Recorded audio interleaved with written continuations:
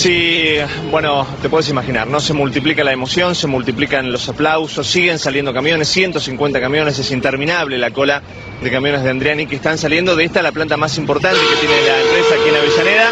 Y al salir se encuentran con los autos, se encuentran con los camiones, se encuentran con camiones de otras empresas, se encuentran también con vecinos que se suman a esta marcha. Por eso están aplaudiendo los trabajadores que se quedan aquí trabajando, porque claro, se dan cuenta que vecinos, que gente que ellos conocen en el día, en el día a día de aquí de, de este barrio, bueno, también se suma en este pedido que no es otro que el pedido de justicia para que la historia de, la inseguridad cambie, ¿no? A ver, me, me contaban que están viviendo un momento que nunca hubieran que- querido vivir, ¿no? Sí, la verdad, muy, muy doloroso todo esto que nos está pasando. La verdad que pedimos tan solo seguridad y bueno, que se acabe toda esta cosa, que la inseguridad que está poniendo el país. Este es un momento, nosotros acá nos vea todo juntos. Partido, partido, sinceramente partido de corazón, porque un, un tipo muy apreciado y querido acá por nosotros.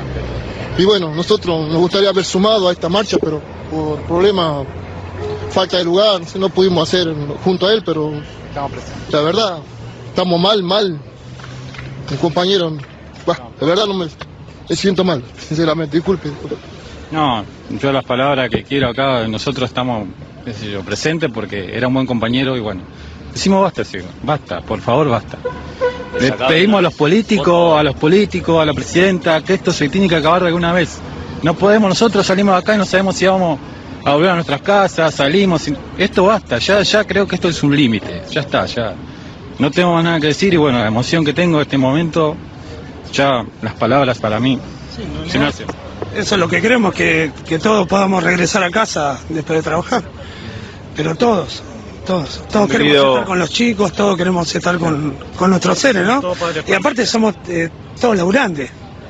No, no es que estamos, eh, o sea, podemos salir de acá y al tomar el colectivo te pueden pegar un tiro por nada, por dos pesos. ¿Les ha pasado esto? ¿Han vivido situaciones complicadas? Muchos chicos sí, y creo que la mayoría siempre tuvo, y ahora acá en la NUS se está poniendo muy, En todos lados.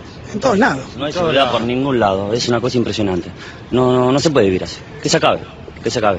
Es hora de que, es hora de que los políticos que hagan algo, que se acabe, que se acaben eh, todas estas cosas. El Se tema es pelean que por no una cosa, por otra, pero y la seguridad siempre como que la dejan de lado y tiene que pasar una cosa así para que todo el mundo le preste atención y se pueda hacer algo. Y no es así. No tienen que, que no se tiene que perder otra vida para, Lamentablemente siempre, siempre pasa esto cuando se, se mueren las personas, y- y- pero no tiene que llegar a eso, no tiene que llegar a morir gente para, para hacer reclamos. Los mismos políticos se tienen que dar cuenta cómo es el problema.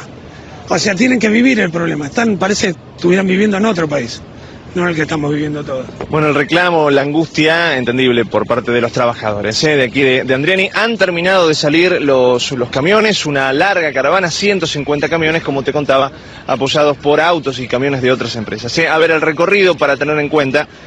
Pienovi todavía aquí en Avellaneda, después la avenida Vélez Arfield, avenida Entre Ríos, San Juan, 9 de julio y Obelisco. Allí va a hablar Facundo Capristo, ¿eh? el hijo de, de este hombre brutalmente asesinado. Esto va a pasar seguramente en aproximadamente 25 30 minutos más. Gracias, Gustavo. Hasta luego. Hasta luego.